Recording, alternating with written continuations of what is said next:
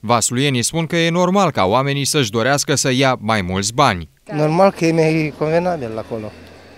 E mult mai convenabil. Sigur că, bineînțeles, și prețurile Bine, comparând cu prețurile de aici, sunt cam la fel. Poate ai prețuri mai scumpe aici ca acolo.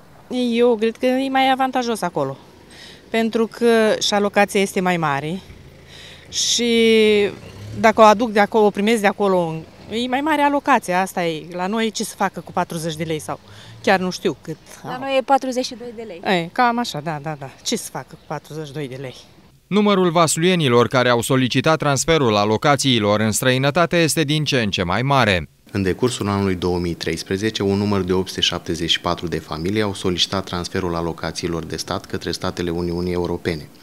De la începutul anului 2014 avem 20 de astfel de solicitări. Țările spre care se îndreaptă sunt în special Italia, Spania și în ultima vreme avem solicitări pentru Austria. Valoarea unei alocații în țările din, estul, uh, din vestul Europei variază între 100 și 150 de euro. Conducerea instituției se așteaptă ca numărul solicitărilor să crească și mai mult în perioada următoare.